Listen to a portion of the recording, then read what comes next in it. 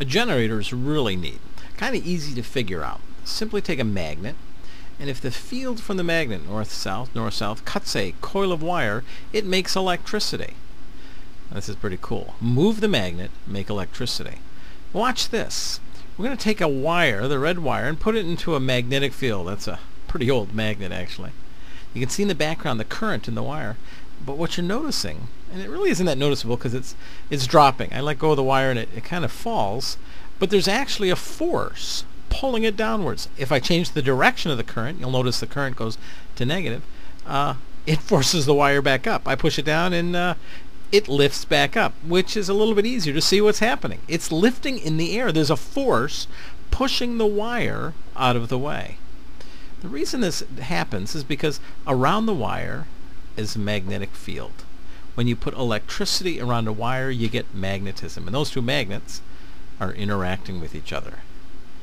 Let's see this happen again somewhere else. Now I'm going to put some current into a coil of wire. It becomes a magnet. An electromagnet is the common expression. There's a compass, and the compass is pointing at the direction of the magnet. When I turn the current off, compass just points where it was going to. I've got magnets all over my desk, so it could be pointing at pretty much anything, but not the coil of wire. No current, no electromagnet. Current, there it is. And now we've got an electromagnet. Electromagnets are amazing. When they were first invented, people weren't 100% sure what to do. You've got magnetism and electricity. And these two are so closely related, the energy is simply called electromagnetic energy. We use it all the time. Now if you put something in the coil of wire, you create something called a solenoid. And in fact, you can pull it, piece of metal, you can pull it with the electromagnet. It's attracted to the electromagnet. It's actually coming towards it. And solenoids are used as, as on-off switches for all sorts of things. You got one in your car. It's how you start your engine. The battery's attached to a solenoid. There's a little lever thing here. There's a different kind. I make contact, and very quick contact. The meter doesn't really even record the current. It goes so fast. So I make contact, and there it pulls in, even before the meter was able to work. Now an interesting application of this, of course, is the speaker. If you put electricity into a coil of wire, it can make something move. What we're going to do with a speaker is make it move in tune with music. So here's a coil of wire. As it turns out, our magnets end up being a lot heavier than the coil of wire.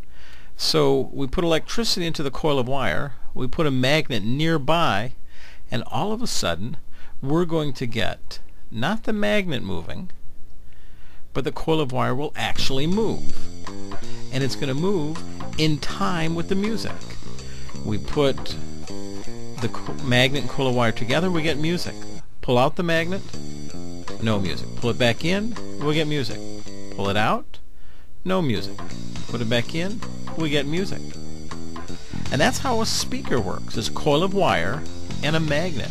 And you pay money for the coil of wire, but mostly you're paying for the magnet itself. High quality magnets tend to be heavier. So you see good quality speakers, they have uh, big magnets in them. They're very heavy. As a matter of fact, there's a group that made really cheap speakers and they put bricks in them. So when you picked up the speaker, it was heavy, so you assumed it was a high quality magnet. They tricked you. And when they come together, this really works neat. Now, my son made me disclose the truth to you. I'm actually dubbing in the music. I was recording it, but the cup doesn't give you the kind of resolution with the microphone. You could just barely hear it. Plus, the iPod doesn't produce that loud of music to begin with. And I wanted to make sure I used original music. This is my little brother playing, and it's original music. I have the rights to it, so uh, I'm using his stuff. But you get the point. When you look at speakers, you see the wire clipped, and, and there's a little uh, pressure relief so it doesn't break the wire. And then you can see the little points where the wires are going down into the speaker itself. And as they vibrate, it makes this sound.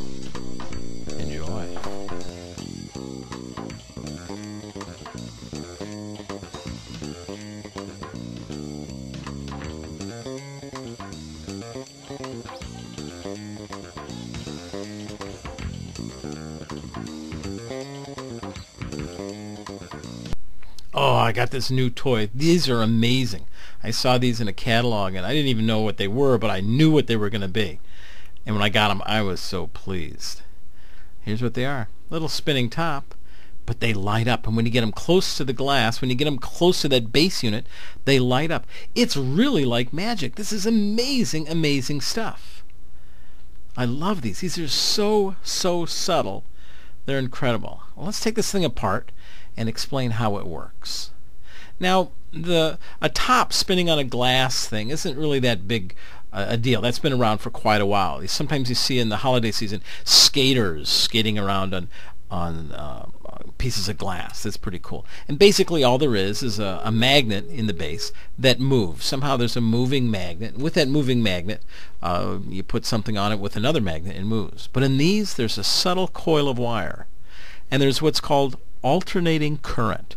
Alternating current goes in one direction, positive 60 volts, and then it goes in the other direction, negative 60 volts. And so it oscillates between those two at about 60 times a second, or 60 hertz. And when it does so, it creates a magnetic field. But the magnetic field becomes a, a north magnetic field, for example, and then when it reverses, it becomes a south magnetic field. So you've got a magnet that's moving. And inside each one of these little bases, there's a tiny coil of wire attached to a light. And so it's basically a generator. It's an AC induction generator, and it runs those little tops. And you put the little piece of glass back onto it, and then they work. This is absolutely incredible.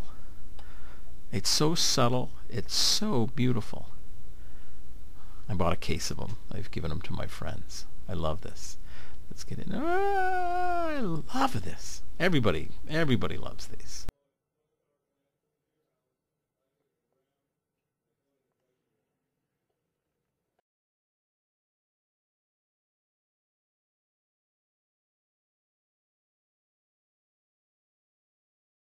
Wow, it's amazing. How does it work? I think it's magnetism. I think it's induction. We're both right. We finally agree on something. Gee, I wonder how it works. Hmm, I think it's magnetism. I think it's induction. Wow! We're both right! Finally, we agree on something!